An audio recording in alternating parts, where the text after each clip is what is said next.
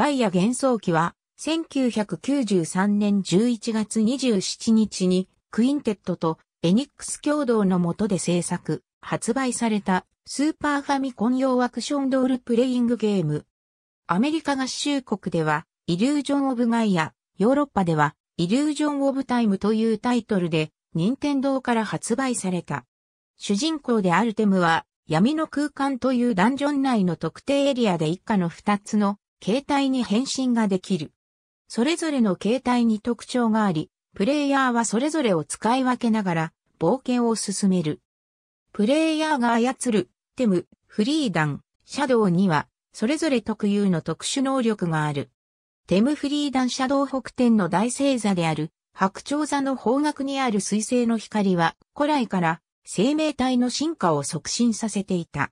古の時代にはこれを応用して動物や魔物といった生物を創造した。だが、その魔物により世界は壊滅寸前にまで陥ることとなる。人類は光と闇の戦士を生み出すことにより魔物を撃滅することに成功した。それから幾年もの月日が流れた。主人公テムは一年前父親が隊長を務める探検隊と共にバベルの塔へ探検し、遭難した中で唯一の生還者である。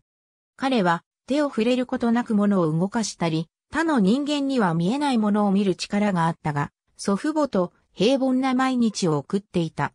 そんなある日、主人公のいる町の付近にあるエドワード城の王女カレンが城を抜け出し、行方不明になった。彼女は主人公の家に身を隠していたのだが、結局、兵士に連れ戻される。次の朝、エドワード城、エドワード国王からテムのもとに水晶の指輪を持参するようにという内容の手紙が届く。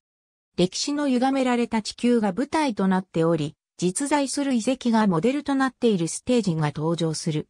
ゲーム誌、ファミリーコンピュータマガジンの読者投票によるゲーム通信簿での評価は以下の通りとなっており、23.9点となっている。ありがとうございます。